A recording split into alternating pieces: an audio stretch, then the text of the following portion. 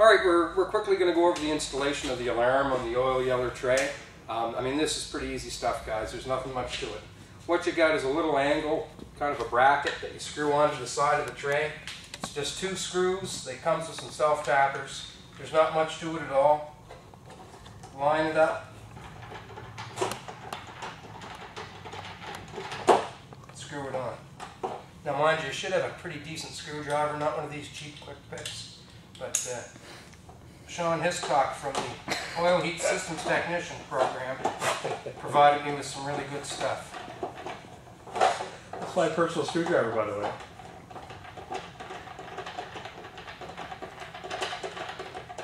Put it this way, it's so easy even I can do it.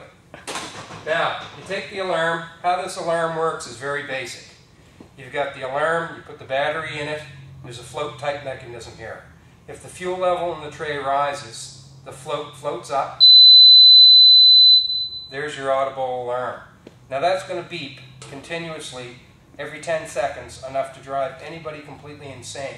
There's no way you're going to miss this. You're going to be hearing this beeping in the basement. It's going to draw attention to it before this tray overfills. And that's the whole idea. Little leaks, you're quickly alarmed, you're quickly alerted to them. I can't even stand that right now. Going to take a matter of uh, seconds to install. It's just that easy. Nothing to it. So now we have the audible alarm installed. If there's ever a release of fuel, the tray begins to fill up. That alarm floats. Somebody in the building's alerted to a fuel leak before it uh, causes any real harm. Piece of cake. Now we will quickly look at another type of application if you want to pan over this way for a second. Here we've got another L-tray shaped tray installed. We've got it underneath the burner. Once again, the burner's completely fully contained. Any drips that come from that burner or the fuel pump will land in the tray. All the fittings that are close to it will land in the tray. And we've also got the, the uh, relief valve piped down over the tray. Periodically, those relief valves can drip, put a little bit of water down.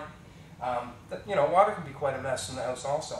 If you've got one of the alarms on this tray, relief valve opens and you've got water in there, that's once again going to alarm you before the water starts to get out underneath subfloors um, cause things like mold, mildew. Uh, obviously, if uh, something's going to open up on a, on a relatively regular basis, you want to know about it.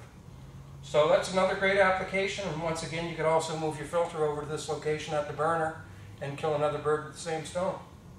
Nothing to it.